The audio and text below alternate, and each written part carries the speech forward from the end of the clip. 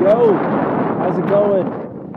I had a little bit of time, a little break, and now I'm on the lift heading back up for round two of today. I'm in Telluride, Colorado. And it's beautiful out. Check this out. This is just amazing. And what I'd like to talk to you about is normal. And I have a I have a tip that I give to people, and I always say it. I say normalize to neutralize. Normalize to neutralize. Normally, sorry about the wind. It's windy.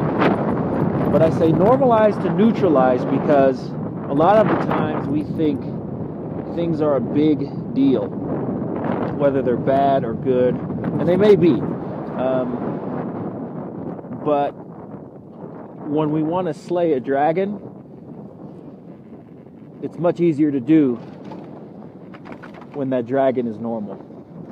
And when it's just a matter of fact, when it's, you know, like making a peanut butter and jelly sandwich.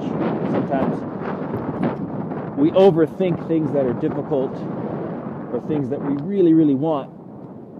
Yet we do a lot of complex things day to day, like driving a car, making a peanut butter and jelly sandwich, um, toasting toast. We don't have to think about that. So, because it's normal. And I just want to share with you that I'm not trying to brag or boast, but this is my normal.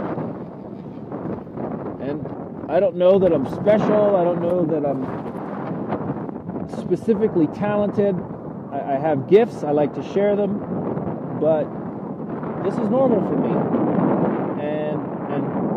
why I do what I do is because I want things like this getting on a plane and flying to go ski. I want getting to the Olympics for you. I want you opening up your new business. I want you smashing your financial goals. I want you smashing your happiness goals, living that fulfilling life. I want that to be normal for you.